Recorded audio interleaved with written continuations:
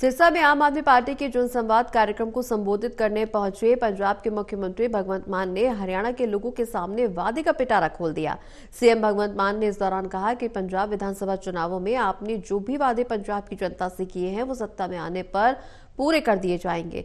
बता दें कि चाहे मुफ़्त बिजली का वादा हो, अच्छी मुफ़्त शिक्षा का, या फिर गरीबों को मुफ़्त इलाज की सुविधा, क्यों ना पंजाब के सभी लोगों को समान रूप से ये बिजली, पानी, स्वास्थ्य और शिक्षा की सुविधाएँ मुफ़्त दी जा रही हैं।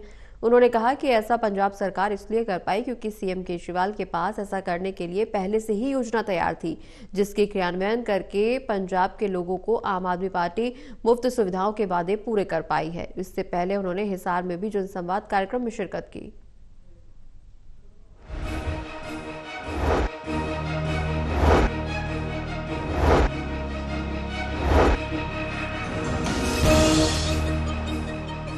हम लोगों ने अनाउंस किया था गारंटी दी थी जो आज आपको भी गारंटी दे के जा रहे हैं कि आपको बिजली का बिल नहीं आएगा।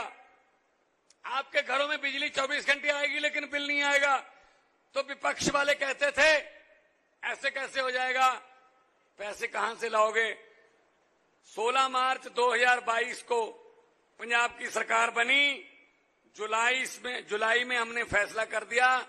आज दो साल से ज़्यादा हो गए। नब्बे परसेंट घरों को पंजाब में बिजली का बिल ज़ीरो आता है, ज़ीरो। बिजली आती है, बिल नहीं आता। 600 यूनिट माफ़ कर रखे हमने। हर दो महीने बाद बिल आता है। 300 यूनिट एक महीने के 600 यूनिट। और इसमें यह भी नहीं है कि कोई नीले कार्ड वाले होंगे या कोई और। नो चाहे जो मर्ज़ी है, जिसके घर पे मीटर की रीडिंग 600 से कम है, उसको बिजली का बिल ज़ीरो आएगा। अब जिसने पाँच एसी लगा रखे हैं, चार गीजर लगा रखे हैं, उसको तो बिल आएगा।